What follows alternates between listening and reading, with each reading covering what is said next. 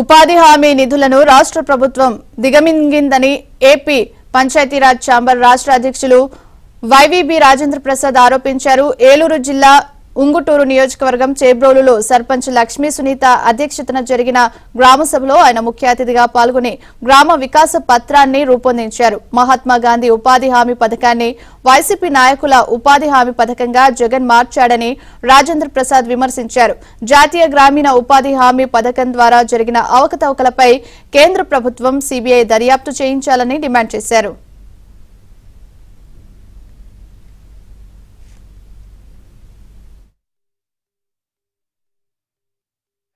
సచివాలయానికి వెళ్ళి మా సర్పంచ్ గారు లక్ష్మి గారు బొమ్మ పెట్టుకోవా?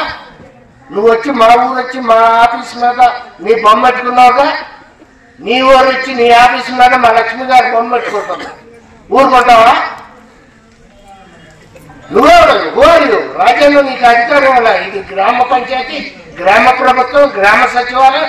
ఈ గ్రామ సచివాలయం మీద సర్పంచ్కి అధికారం ఉంది. గ్రామ వాలంటీర్ల మీద అందులో ఉండే కార్యదర్శుల. మీద నువ్వు వచ్చి మాట్లాడతాడే అని అడిగితే నీకు నాకు సంబంధం లేదు నీ జవాబు చెప్పు Jaganmohan Reddy to volunteer.